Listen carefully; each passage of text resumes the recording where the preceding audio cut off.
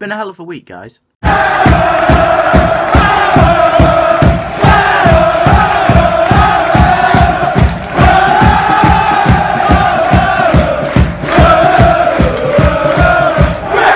So welcome back to All Town That Way. Welcome back to another video on the channel. Now, it's been a bit of a big week.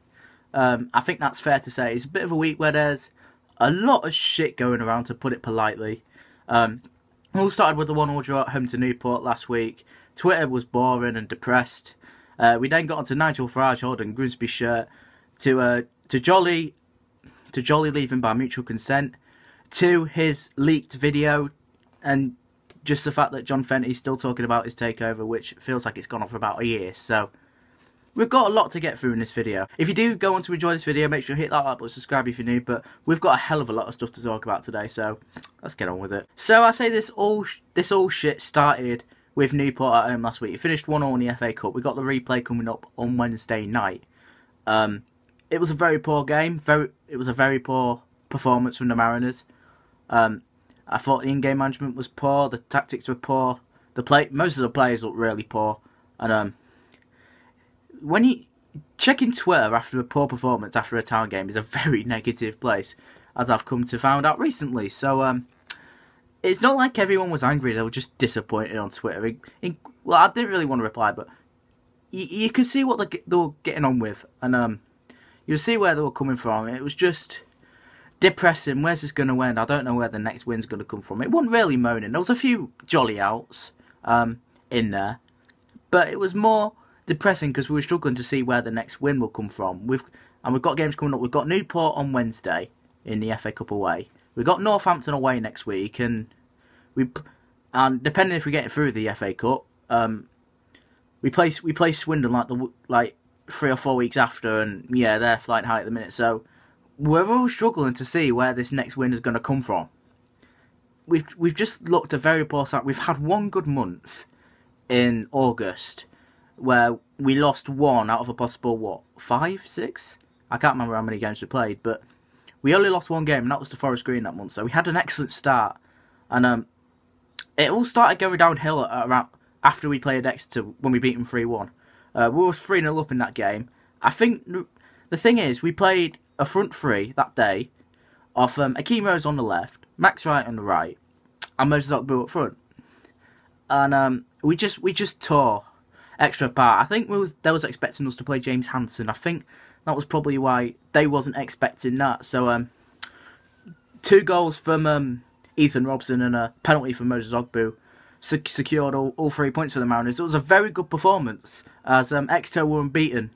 Um, going into that game. They was unbeaten like the last 14. I reckon if they would have not lost one more, I think there was close to a club record. Um, correct me if I'm wrong.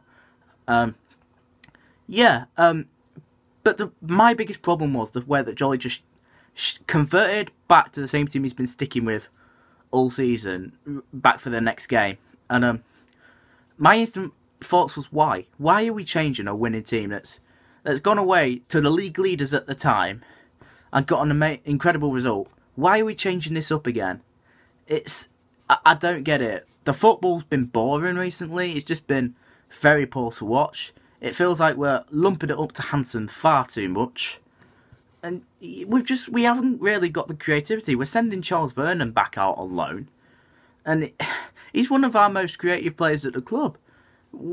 this this squad is lacking creativity, and the fact that we're sending Charles Vernon out on loan is is bizarre. I'm not sure if he had a.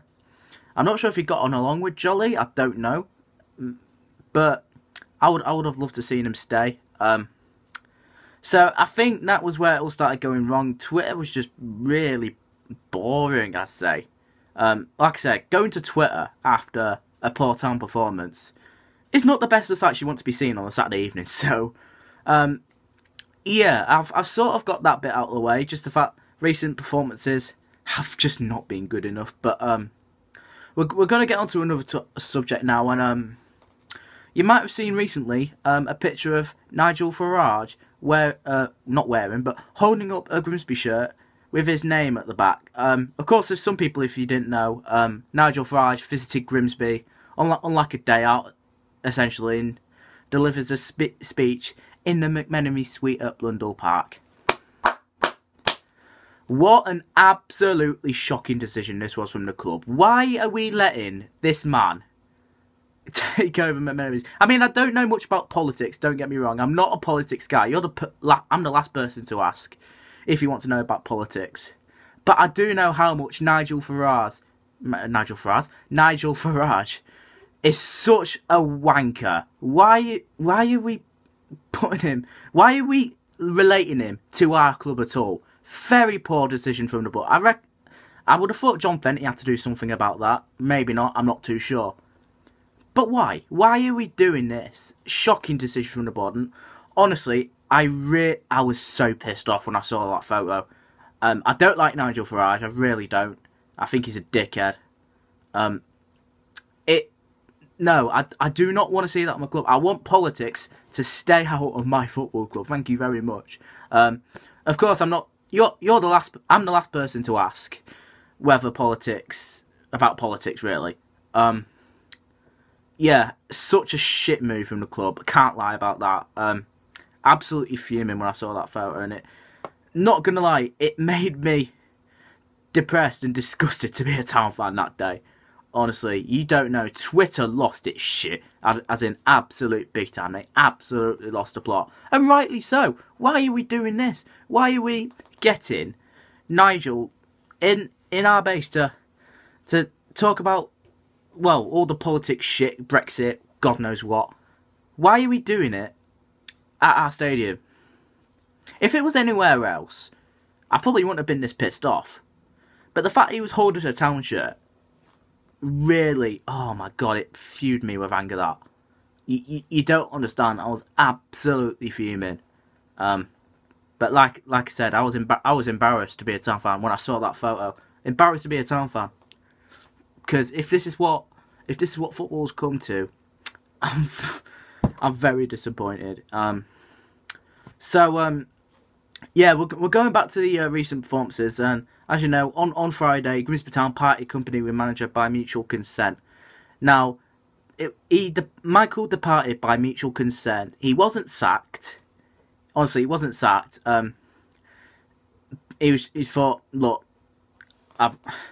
There was no way he was coming back from what he's done. And if you've not heard of what he's done recently, um, I've heard of a few outbursts of what he's had. Um, I, I heard he was um, starting on a fan when we lost at 4 0 home to Leyton Orient, and I, I believe he got dragged down the tunnel by Anthony Limbrick. But I tell you now, I've never I've never heard anything like this. Um, what I'm going to play to you now is is the Mike is what Michael Jolly was saying to BBC Radio Humberside after we lost 4 0 at home to Leyton Orient. Um, it's about four minutes long, but I'm just going to warn you now. Um, this is not for the faint-hearted. Normally, Jolly is a normal is a normally calm guy, um, but I can understand this game. We just lost 4 0 to Leyton Orient, and tempers are flying high. So I, I want to I want to play this video. There's no there's no um, video footage, so we're just gonna put some pictures up in Michael instead.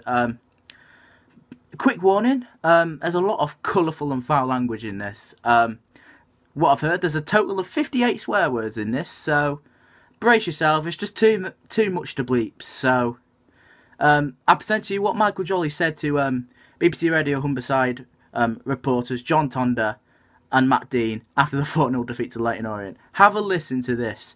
If you've not listened to it yet, you're in for a treat, honestly. Um, take a listen to this.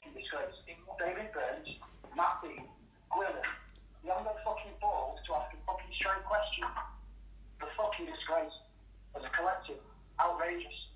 The fucking negativity around this football club and you were put is a fucking disgrace.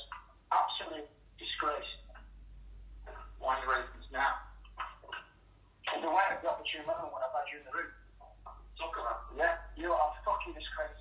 Every time you interview me, you are antagonistic, confrontational, fucking Jeremy Paxman. You fucking are an absolute fucking disgrace to the journalist. Do your fucking research. Fucking ask a straight question.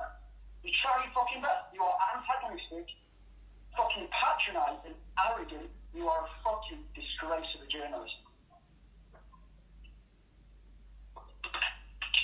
And the fucking radio station gives us fucking no positive um, coverage whatsoever. Fucking you and fucking Gwilym criticising playing for man at Chelsea. I go on the fucking Monday night show to book it as a basically rock because he's a professional journalist and he's a fucking straight shooter. And you don't fucking ask me a question. Oh, enough. Or when I go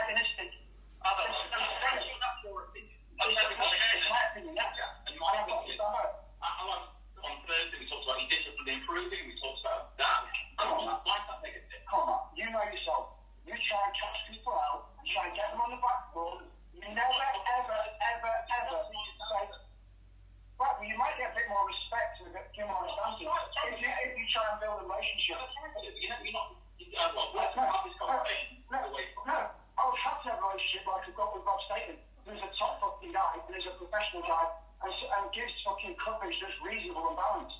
Your coverage isn't balanced. What, what, So what I'm is, you must be fucking buzzing.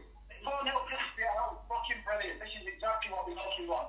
Now you must be fucking like, I know it's exactly fucking true. Because you look at it when there's negativity around the corner. What you've just heard was quite extraordinary. Um, we're just going to speak a little bit about this. Um, of course, if you knew Michael, uh, he was always a, he sounded a very calm guy normally. Um, he was calm with everything he does. He looked fairly calm on the touchline as well. Um, but safe to say, he completely lost the plot after we lost 4 0 at home to Leyton Orient. Um, my thoughts on this video are a bit mixed. I mean, Jolly's right. I've, he's right. Um, BBC Radio Humberside, if you've ever listened to it, is so bloody negative. Because you've got a few. Matt Dean is Matt Dean. Um, he's always had a bit of a problem with other managers, especially Russell Slade last season. Uh, John Tondeur's one of the most liked people at the club. Um, I really like John. Um, he's got Grims- Grimsby in his blood. And um, you've got Dave Burns on the other hand. He only gives a shit about Hull. So it's everything you hear on BBC Radio Humberside is so negative. negative, and I totally agree with Michael in this case. Uh, we lost 4 0, and they're look, trying to look out for the negatives. There's, there's no positives to take away from what they're saying whatsoever, ra- rarely. So Michael is, is sort of right, and uh, I do agree because, honestly, BBC Radio Humberside asks the most stupid and weirdest questions as well sometimes, but I can't lie either. Michael's also in the wrong. Um, going off like he did uh, is just not right. Um, if you're a manager at a football club, um, you've got to show that bit of class, and unfortunately, Michael just didn't show that class. Um, is that uh, John Fenty even said that was one of the reasons why I left. Um, he was gonna open disciplinary action. Um, but Michael decided that he wanted to resign instead. He knew what was coming. You can sort of tell he regrets it as well. Um, but it's just it's just a sticky situation at the minute, and it's just been a very hard time for everyone at the club at the moment. Um, once I've heard this, um, not gonna lie, this took me by surprise, and it's not the best audio. This is the best I can do. Um, took me by surprise, big time. Um, but you know, some someone's got to say it because BBC Radio Humberside proper gets on my nerves sometimes, and um, like Michael said in that in that um in whatever that is rant, like Michael said, um, every ma- no wonder every manager at this football club um thinks it said that every football manager at this club um has something bad about you.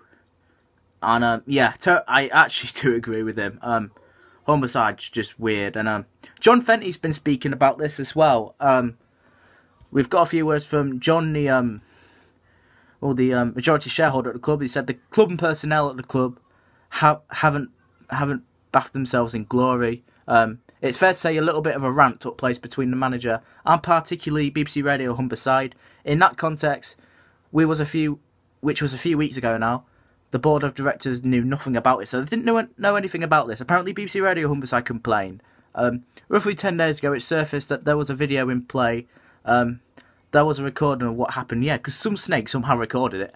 Um, after after listening to what was said, it was a matter of the fact that the club would need to take disciplinary proceedings, which they started to do. That began with a form of investigation.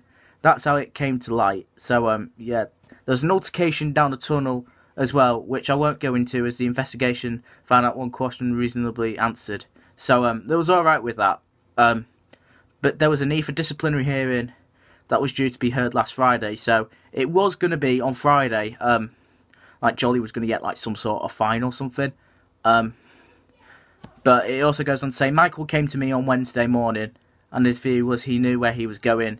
We saw an opportunity for a compromise agreement on leaving on mutual grounds. So um, John Fenty confirmed that he wasn't sacked. Uh, he wasn't sacked at all. Um, we're really disappointed with the whole affair. On a personal level, I was particularly concerned and disappointed. Um, there were mentions to the budget and, and in the press, suggesting they su- suggesting they should have said something about the budget in the past. I find that a strange comment, however. When when things aren't going well on the field, it is a pressure cooker, and we do give allowance to things that erupt over. On the scale of eruption, it's clear that the football club have had to go through a disciplinary process, and anybody that thinks otherwise need to think again. So I, I agree. I agree with John. Um, I think he's to be fair. I think he's handled it the best he possibly can. It's a difficult situation to handle. Um, but I think I think he's done it the best he can. Um, Fenty also goes on to say he was shocked and stunned. Um, it was a serious tirade, and it was. It really was. Um, it's a very difficult situation to be in. It's it's something you don't really see every day. You don't really see managers losing their minds to uh, other reporters um, of the press. Remember Joe Kinnear at Newcastle? Um, I think Michael's just beaten that, but um, no, I, I'm I'm currently I'm currently mixed on the whole thing. Um, it's it's a very interesting story, and um, I do think that's the reason. That's probably the biggest reason why he left. I think he does regret it. I think he does, but look, we we have to move on now. Um, wh- what? Yes, um, Jolly's right, but no, he's wrong. If you get what I mean, anyway. Um, yes, he's right. BBC Radio Humberside literally just takes things so negatively, and they they try to put like words into people's mouths, basically.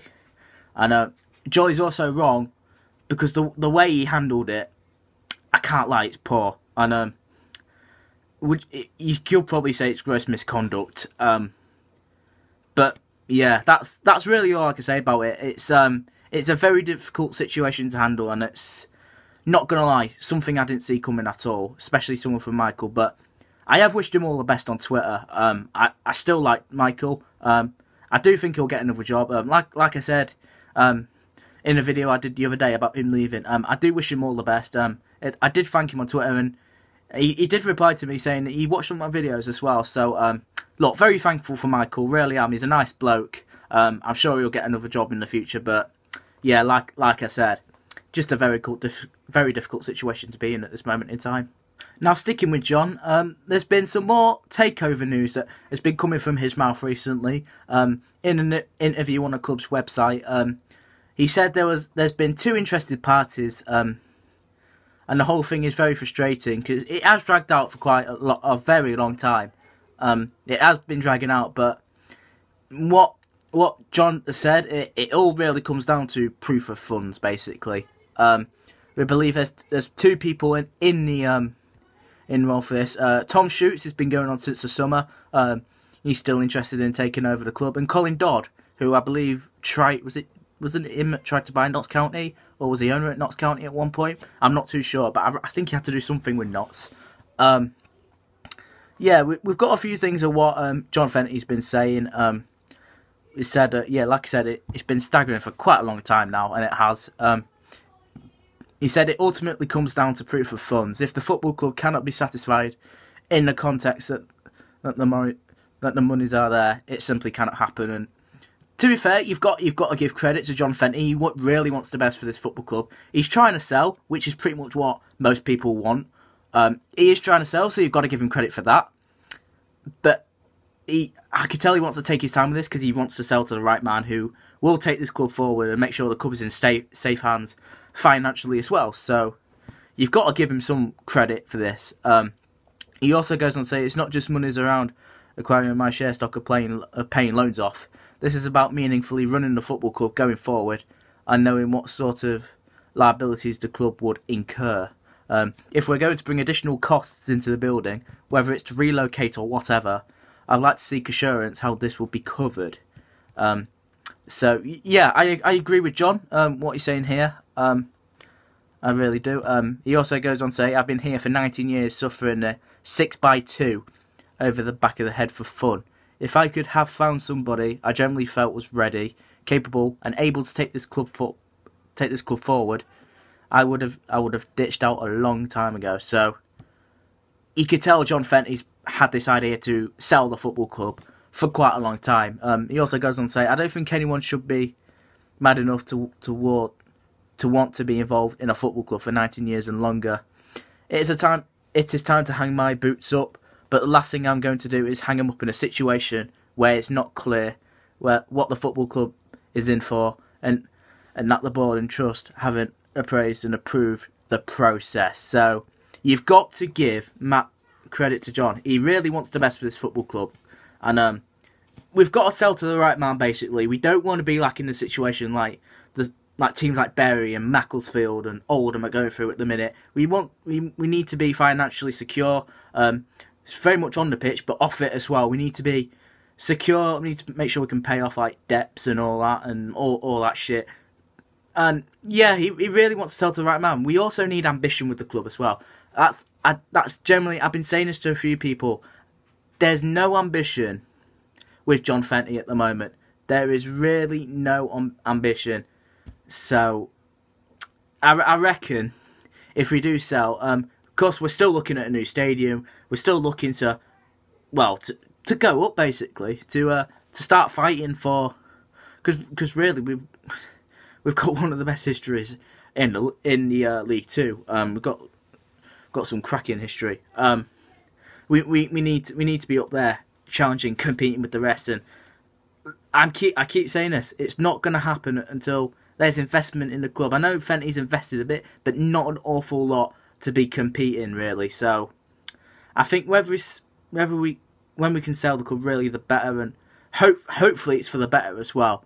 Um, but like I said, you've got to you've got to praise um, John Fenty because he doesn't want to leave it. He doesn't want to leave the club broken and absolutely on its knees like Bury House. So you've got to give him some credit in that aspect. Now I'm just going to speak about one more thing, and that's the manager search that is taking place at the moment. Um, of course, Michael Jolly left his role on Friday, so that means Anthony Limbrick um, will be the um, interim manager uh, for the time being. He'll definitely take game. He'll, tef- he'll definitely manage the game on Wednesday at Wait Newport. Um, it's been con- confirmed today that he's got Ben Davies, the former um, Grimsby Town defender, to help him out with him. He's been te- he's been starting to take his coaching badges. Um, I like Ben. It's good to see him back involved with the club. Whether Limbrick, I've got that feeling that Limbrick will take the job till the rest of the season. Does it? Does anyone else think that? I generally think get a few decent performances together. I reckon I reckon Limbrick could have it for the rest of the season. But some of the names that are being mentioned, um, the bookie's favourite at the minute seems to be Kevin Nolan, the former Notts County manager. I personally don't want him. Um, if I'm going to be honest, um, he's someone that likes to play hoofball apparently, and um, I, I, reckon we can go for someone else. Uh, Paul Tisdale's another name flying around. It, I mean, I'd love to have him, but I think it's a, I think it's a dream. Um, I, I don't think he'll come all the way up. I'd be very surprised if he does join. But um, one of one of the favourites as well, and um, I'm willing to give this guy a go. It's Robbie Stockdale, um, the former the former Grimsby Town player. Um, I am willing to give him a go. Um, I think he stated he wants to he wants to uh, start first team managing because uh, he's had a few assistant roles. He's just left Hibernian has an assistant, and um, he's been an assistant at Sunderland a few times.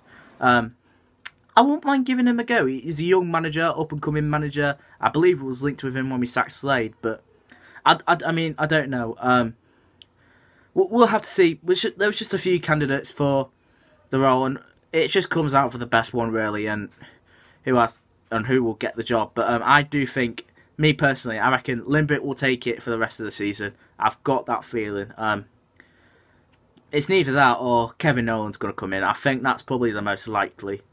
Um, and we'll have to we'll have to we'll have to see it from there. But um, Anthony's got a big big game um, with the team coming up on Wednesday night. Newport in the FA Cup first round replay. Um, away day at Bowers and Pitsea coming up. Uh, Bowers and Pitsea, no, what am I on about? Um, Maldon and Tiptree, I do apologise. Um, yeah, we've got, and that could be on the BBC cameras, so it's, it's a big game. We just need to just give it our Newport and hopefully get into the second round of the FA Cup, which which would be nice, really. So this is where I'm going to wrap up the video. It's been a long one, guys, I'm not going to lie. But if you have enjoyed this video, make sure you hit that like button, subscribe if you're new. Uh, there'll neither be a Newport preview, neither tomorrow night or Wednesday afternoon. Probably Wednesday afternoon. I've got, excuse me, is where I've got a bit more time, so I might do it there. So um, yeah, thank you guys for watching. You've been watching All Town That Way. Have a good day.